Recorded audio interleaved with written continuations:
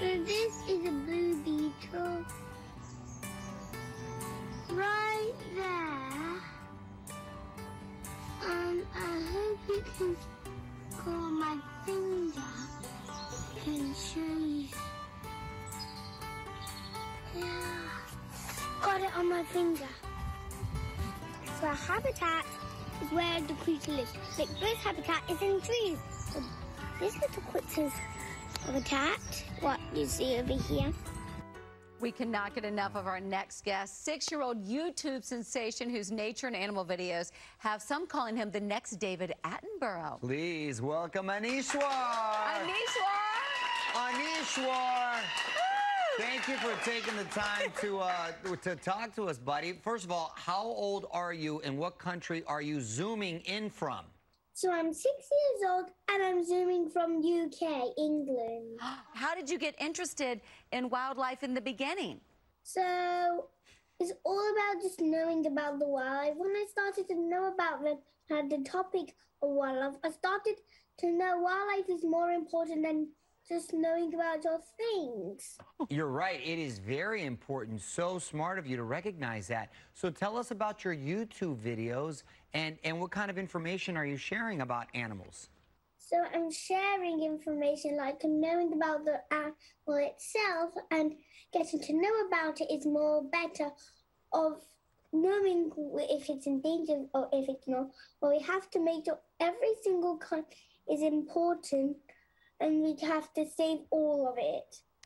Well, we know that you love David Attenborough, who, of course, narrates Planet Earth, Love which we know you've Earth. seen tons of times. Mm-hmm. I want to take a look at a video where you're outside and you're educating us on African elephants. Because mud is just like a bug spray and it cools down down in hot days. If you were an African elephant, you could get dirty and your mum would not even be angry.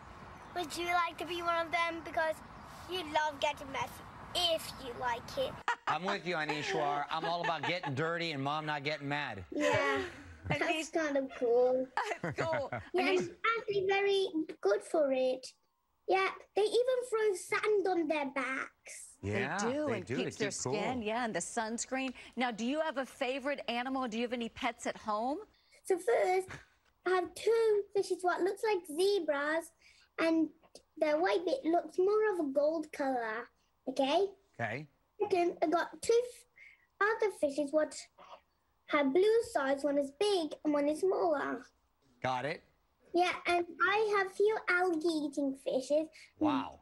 All of them have like a rib bone going past that. His name is Hyde because he's a bit nervous and like to hide more. That's a smart. That's a smart name. What's the other one's name? Oh, great. Like the big blue side. That's his name, Big Blue Side. Oh, oh, Big yeah, blue of course. side. Hoover, come on. Oh, God, get it Keep together. up, Hoover. I'm sorry, Aneeshwar. I apologize for it. Listen, before we let you go, you got a whole zoo right there at your house practically. We, we want you to tell us one fun fact for each of the following, okay? A hummingbird. Yeah. So hummingbirds can fly up, down, left, right, and even hover in one spot, just like on that scene when it's drinking nectar. It wants to come very close to bright objects, and it has a sensory what makes it know when a bright object is nearby. Then it just goes straight for it, and then gets its hovering powers into place. It doesn't go flat forwards and backwards. Got it. It goes in a gate. Yeah. And did you know it can fly very easily, but hardly can walk? That means it can't even walk. It can't even Wow. walk. It's like a helicopter. That's cool I like to that. know. Okay. What about a puffin? If you see on this screen, they have a lot of fish. That's exactly how their de- beak is designed to hold things. This is crazy cool. It can hold 62 fishes Wow. In its Wow. I can do that too, Aneeshwar, just so you know. He might even do 64. I'm you like a got to come to set. What about a peregrine falcon? Isn't that the fastest bird ever? Yep. And you want to see how speedy it is? When it goes in the plunging mode, it can dive 200 miles per hour. Wow. That is unbelievable. And when they want to attack, they spread out their feet and put them in front of their whole body, and then they clutch onto their prey. They flap hard to get into the air again. They can glide again. Cool. Wow. Super cool. You're super cool. And you are super cool. And Get, listen, hope he's got an agent. That kid's a star. yeah, you can check out more of Aneeshwar's wildlife videos on his YouTube channel. Thanks, Aneeshwar. And up next, renovation pros behind HGTV's Going for Sold are back with a new show that you're gonna love, and we're gonna talk to them next.